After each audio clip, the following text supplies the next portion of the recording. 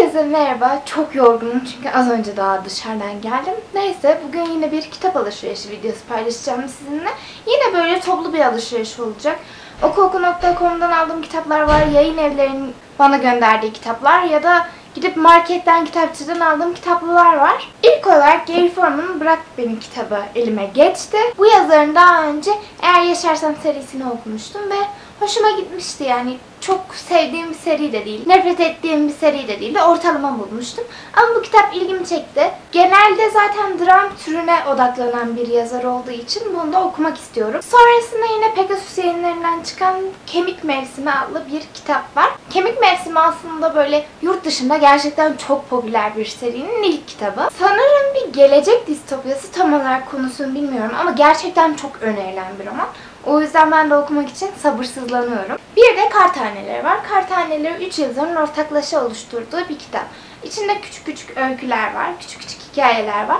Bu yazarlardan biri de John Green olduğu için bu kitabı ayrı bir önemli kıldı benim için. Merak etmemin sebebi de o açıkçası. Zaten iyi yorumlar duydum. Hani böyle tatlı bir roman olduğu söyleniyor. Umarım bu kitap da benim beklentilerimi karşılar. Az önce dışarıdan geldim demiştim ve Carrefour'dan iki tane kitap aldım. Dışarı çıktığımda zaten kitap almadan gerçekten duramıyorum. İçinden de fatura çıktı. Hafta sonu kaçama bir kitap aldım. Yani çerez olsun diye aldım cidden böyle. Kapağı hoşuma gitti. Bir arkasını okudum. Ha, eğlenceli bir şeymiş dedim. Zaten 8 liraydı.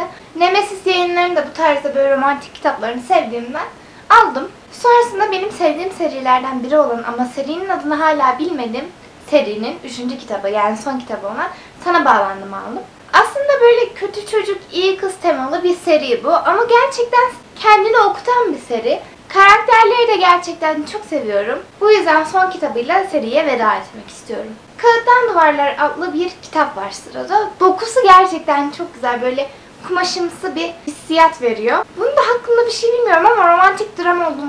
İyi yorumlar da duydum. Yakın zamanda okuyacağım bu kitabı da. Yine Indigo yayınlarından Resident Evil The Final Chapter adlı kitap var. Şeytanın Dönüşü. Ölümcül Deney bir film serisi. Ben daha önce bölük bölçük izlerim. Böyle tamamen oturup izlemedim. Ama son zamanlarda da yeni filmleri çıktı galiba bunun. Aksiyon türündeki kitapları seviyorum. Belki bunu da severim. Ama sanırım kitap filme çıktıktan sonra yazılmış. Bu beni biraz tereddüte düşürdü.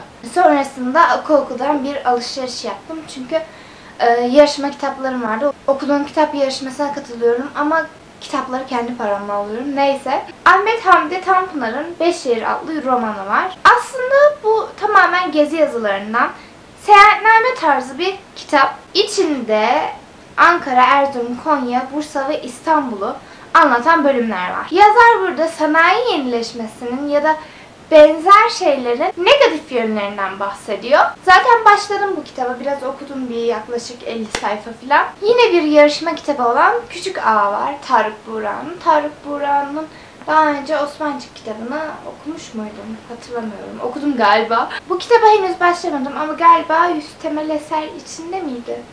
Gerçekten emin değilim. Sonrasında yine araya böyle 9.90 kampanyasında olduğu için sıkıştırdığım bir kitap olan Oyuncuyu aldım. Bu Gamble kardeşlerin, evet. ikinci kitabı daha önce bu serinin Sadıç kitabını okumuştum. Jennifer Alarman çok sevdiğim bir yazar ve bu serinin kitapları böyle küçücük küçücük Wattpad hikayesi kıvamında olduğu için araya sıkıştırmayı sevdiğim kitaplar. Sonrasında Nutuk aldım. Bizim evde Nutuk vardı ama ben İş Bankası yayınlarından istiyorum. Ve o yüzden bu versiyonu da almış oldum. Ve son zamanlarda gerçekten bu kitabı okumak istiyorum. Ama böyle oturup bitirmelik değil de başucu kitabı tarzı.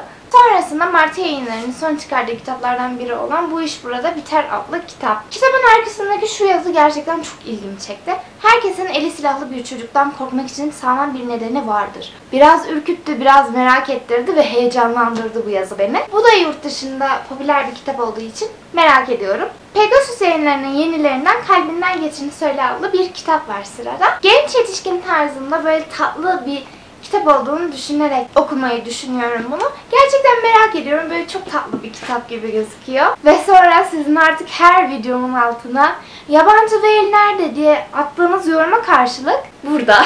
İlk kitaptan çok daha iyi olduğunu duydum. Ayrıca kurguyu da takip etmek istiyorum. Ya karakterlerini sevmiyorum. Gerçekten hatta bu benim çok fazla sinirimi bozuyor. Karakterlerin biraz daha düşünerek yaratılmasını isterdim ama bu yine de kitabı sevmeme engel olmayacak diye düşünüyorum.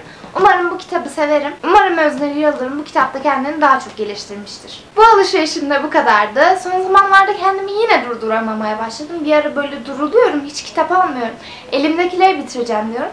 Sonra yeniden alıyorum ve bu beni gerçekten kötü etkiliyor. Neyse umarım bu videoyu beğenmişsinizdir. Bir dahaki videoda görüşmek üzere. Hoşçakalın.